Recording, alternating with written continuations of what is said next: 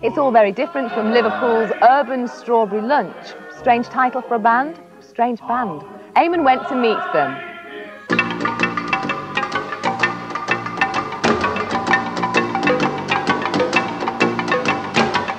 This is Liverpool. Four musicians here use recycled rubbish to hammer out a living.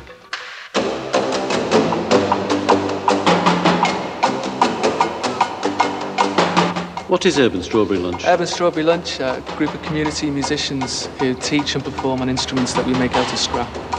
The group now perform like any other band, but running workshops for kids and adults earns them their daily bread. If you take a young person and put them in front of a, a drum kit, uh, like a proper drum kit, they'll go, oh, I can't play this. If you get a, a, drum kit like this, they'll have a go. If you give them a kitchen sink to play, they'll think, oh, it's only a kitchen sink. They're not bothered. Has every child got the ability and the rhythm inherent in them? Everybody has it in them. They might all have it in them, but sometimes it just won't come out.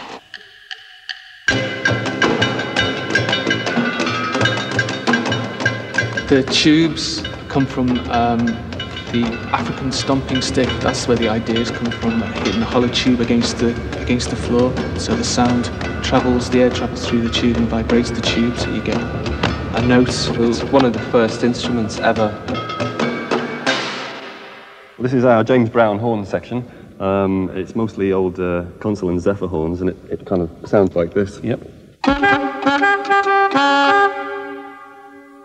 And uh, the rest of the Consul and the Zephyr seems to be here.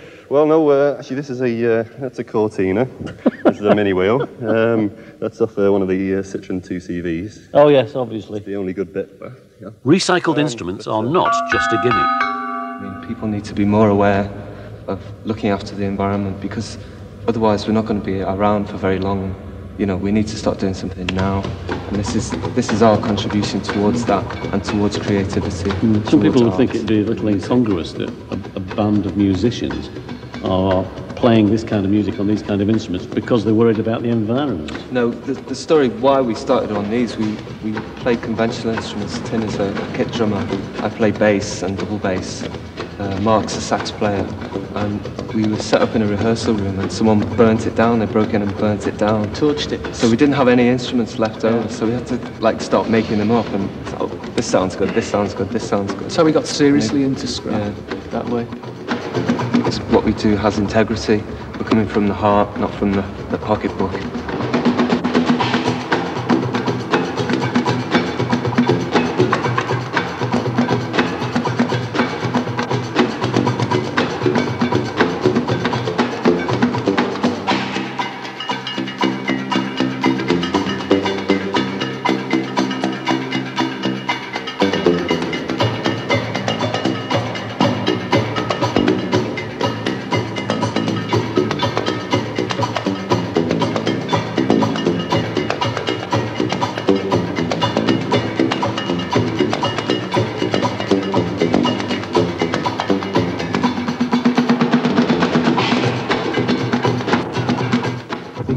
You know, why hold that back? Why repress it? You know, everybody's got that in them.